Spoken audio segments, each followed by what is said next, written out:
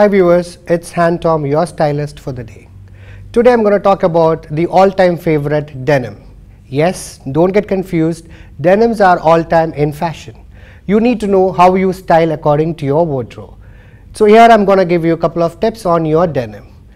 For guys, you must be having a well-fitted denim shirt. You can pair it up along with your well-fitted jeans, accessorize them with a leather belt and Oxford shoes you're ready for your day out look. And for girls, you should go for a well-fitted short sleeve shirt along with the skinny jeans, accessorize them with a leather belt and a knee length or full boot. You look very good for the day. And for an evening look, all you guys must have a knee length uh, denim shorts. You can always wear it along with a polo t-shirt or a check short sleeve shirt.